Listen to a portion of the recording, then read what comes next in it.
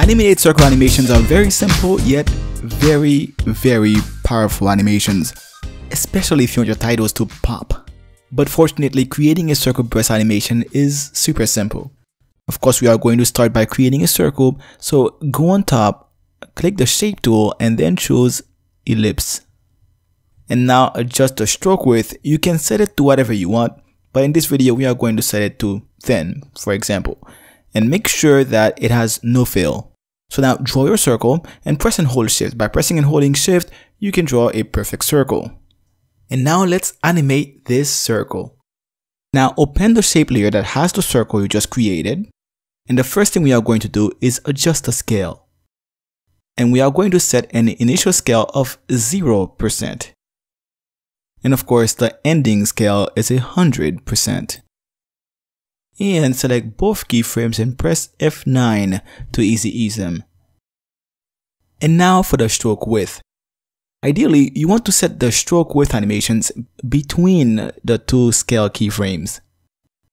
And now go to stroke and set a starting keyframe for stroke width.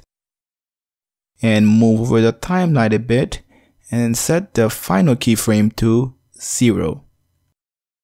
And once again, select all keyframes and then press F9 to easy ease. And now there you go, you have your circle burst animation.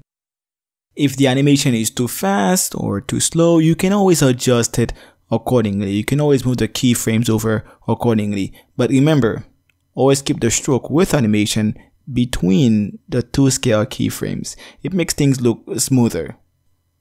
So now once you have made sure that you've got things just right, you want to cut the layer. Ideally, you want to end the layer right where the final scale keyframe is. Right there. And then to do that, it's Alt or Option, close bracket. And there you go. and now this is where you can get really creative.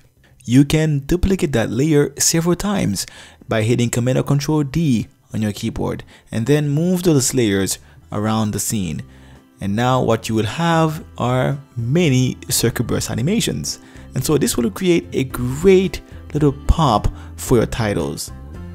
So as you can see overall, it's really really simple to create a circle burst animation in Adobe After Effects.